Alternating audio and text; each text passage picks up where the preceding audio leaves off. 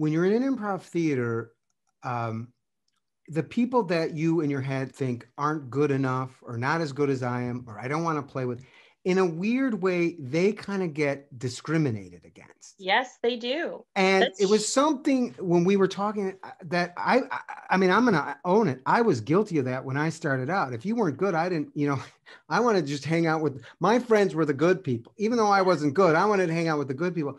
And I thought, wow, this is really interesting because that's something that's never been talked about in improv. And you were like, you you oh, yeah. you get it. So how do you deal with that? Because I, that's that's a serious uh, topic that never gets discussed.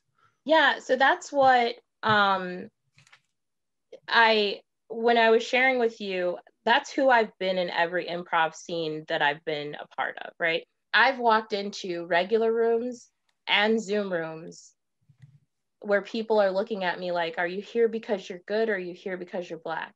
are you here because you're black and you're a woman or you know are you good but rarely rarely is it like that actual feeling of are you good like you're here because of you know people are trying to fill a quota mm-hmm. here or or because george floyd was murdered and now we have to put out this statement and pretend as if we're inclusive now um so it's a terrible feeling even if you take color and, and gender out of it um, and I've always been the person to be like, get in here, we're gonna play.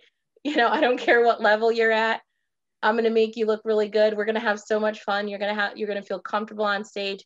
We're gonna hang out after. You can call me, you can text me, you can email me, uh, you can talk to me. You're a part of this community as much as that person who gets so much stage time that totally doesn't deserve so much stage time, but they stay after at the bar and they talk to everybody. And so they think that they're cool. Like, you're cool too. Jimmy, Jimmy Carrane, Jimmy Carrane's a nerd. Jimmy Carrane's an improv nerd. Jimmy Carrane's a nerd. Oh, Jimmy. Jimmy